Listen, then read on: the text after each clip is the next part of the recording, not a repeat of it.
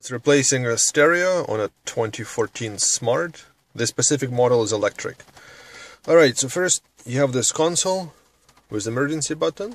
You can put your hand in and uh, uh, pry it out like this.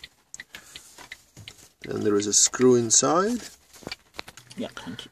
It's a 20 size. Just be careful, don't drop it.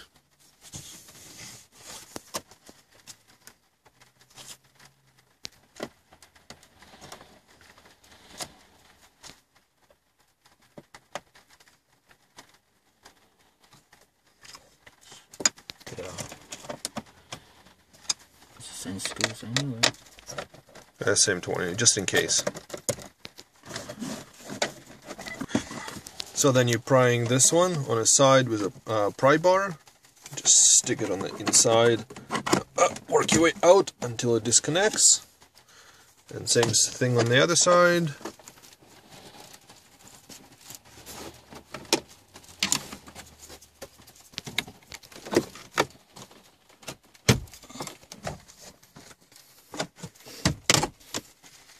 And the front plate is out.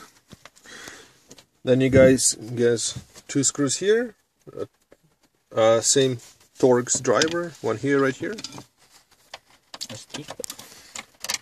Yeah, However, two screws.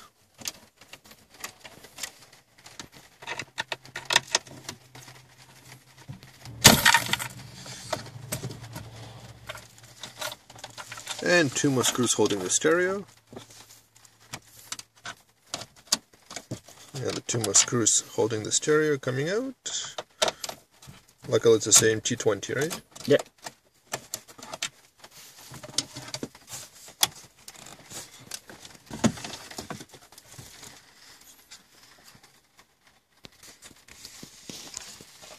Yeah, there's antenna on the back. So I see it. I don't know what's used for, but okay. And uh, connector on the bottom.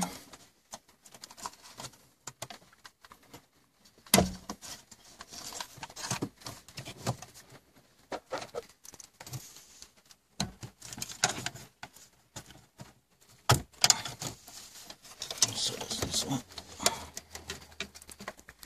And that's it, the deck is out.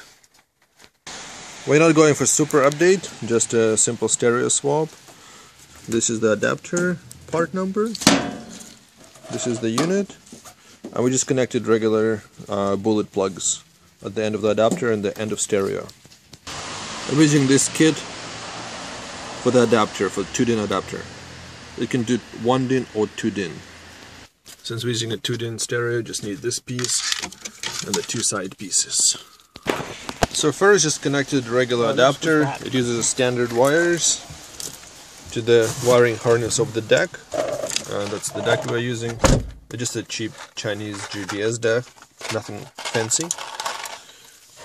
And you just call a match. There's nothing special about it. So uh, the two of the wires like this, one is for auxiliary and one is for USB that go inside the glove box. And uh, we don't really have an adapter for it, so I'll probably just remove it and keep it for when we return the car.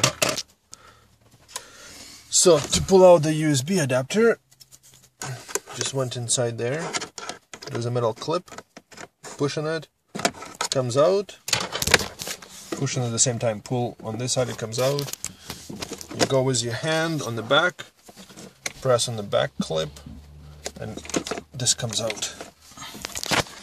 Actually, the easiest way for removal was to remove the connector from inside the adapter.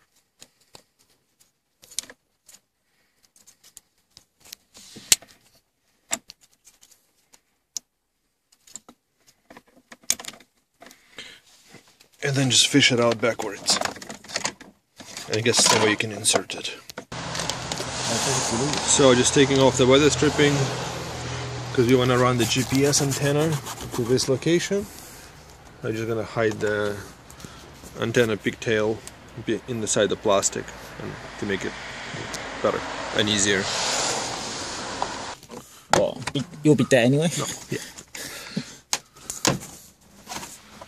So there's just disconnecting two plastic pieces to run the black wire behind.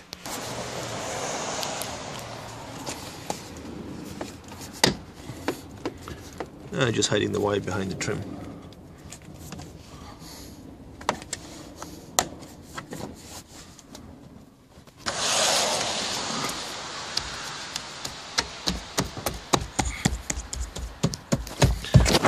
And then the wire, the wire is gonna run just behind this rubber seal and behind the instrument panel. So to install microphone, we want to install it right there, just behind the light.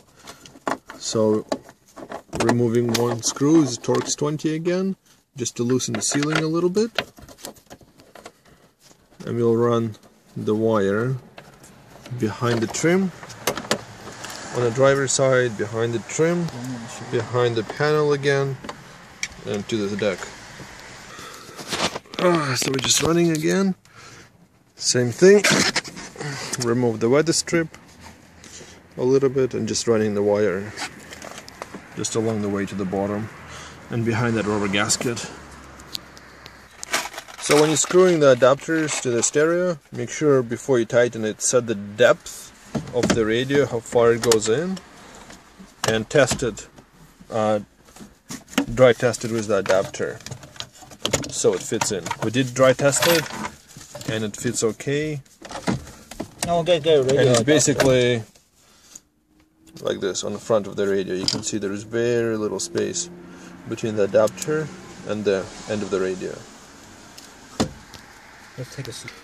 Alright, a small update on the wiring harness. Looks like there was a wiring change and the adapter that I showed you guys in the beginning okay, hold it, uh, doesn't work straight out of the box. So the wiring harness so this is the smart side and this is the stereo side, right?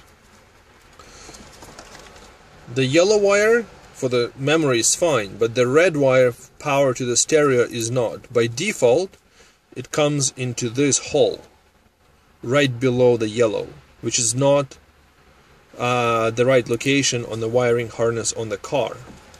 On the car, it's on this pin. So what we did is we moved the red wire on the adapter from this location to this location. And in order to move it, you simply you simply stick a small tiny screwdriver in there and when you do it work work the red wire out. And that's it. You also need the adapter uh, between the antenna for the generic radio and the Mercedes style adapter. We're going with generic style but you can get one universe like specific not universal The cost for those things. there is a plenty of space behind this uh, deck for the wiring, so it should be pretty easy to stuff in if you have a bit of a rat nest.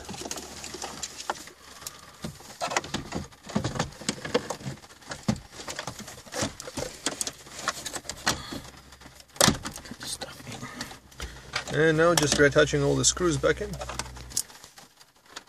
Actually, you know what? Uh, fine. All the way up.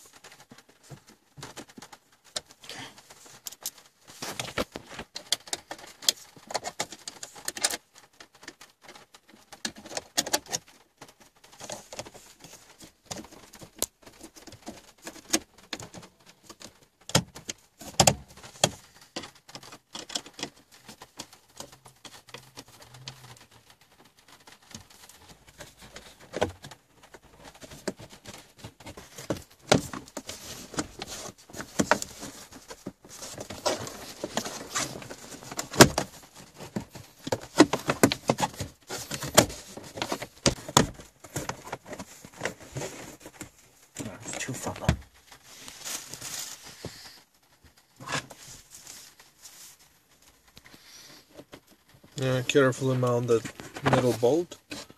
Be careful not to drop it, otherwise it will be a hell of a time getting it out.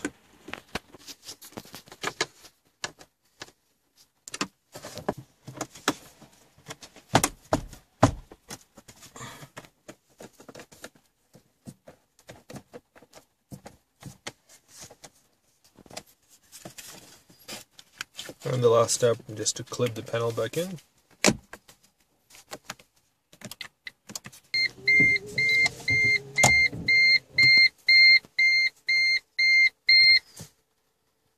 And that's it, you're done. How about GPS?